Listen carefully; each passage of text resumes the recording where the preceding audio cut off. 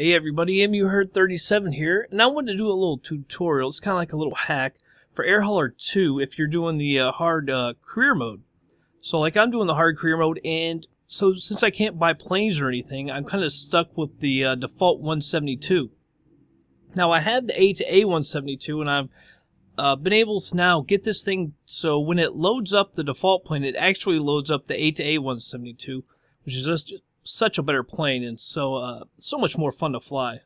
So I'll show you how we do this. Go over to FSX, down to Sim Objects, Airplanes. Now A2A C172, that is the A2A plane, and here C172, that is the default the uh, default one. So highlight the A2A 172, hit Control, and then hit the C172 as well, so that they're both highlighted. Right click and hit Copy. Now go to somewhere else on your computer, wherever, and just right click and paste them somewhere. This is just to back these two folders up, so if you screw something up, you can just paste them back over and you're right back to where you started. Also, we're going to need something from the 172 config file here in a second. So now go back over to uh, airplanes, go to your A2A, click it, highlight it, Control A, or however you want to get all, select all of them.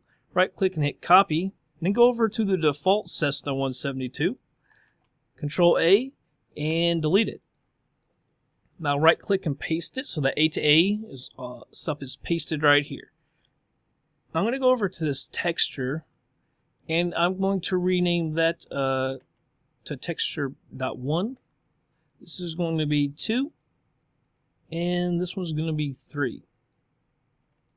Now since that A2A has the uh, same textures and everything, the original ones, uh, there's actually a little bit of a problem uh, when FSX starts up, if there's two textures or that are the same, also in the config file that I'll show you, uh, it actually comes up and shows you a little error that there's in the sim objects there's two with the same name, so it throws you a little error. So we're gonna have to rename that stuff, texture one, two, and three, and we're also gonna do that in the uh, config file as well.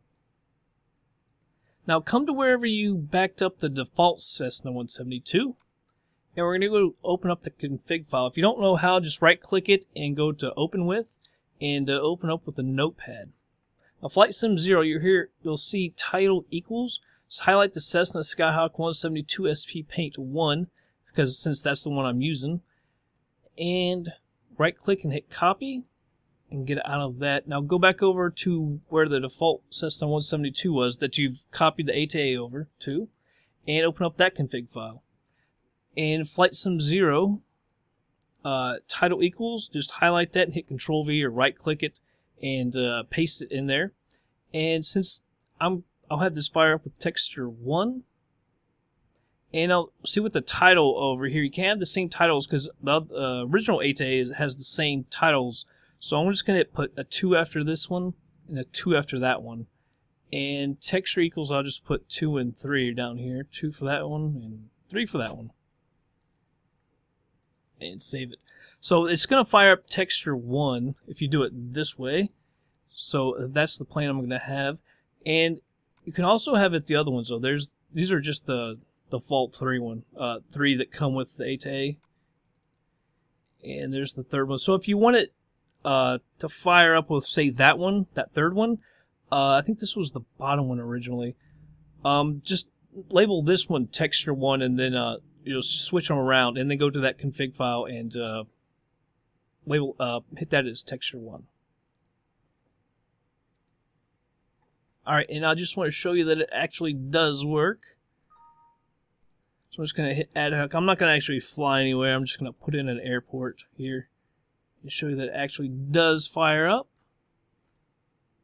All right, so I'll let it uh, fire up here and let you see that it actually does work.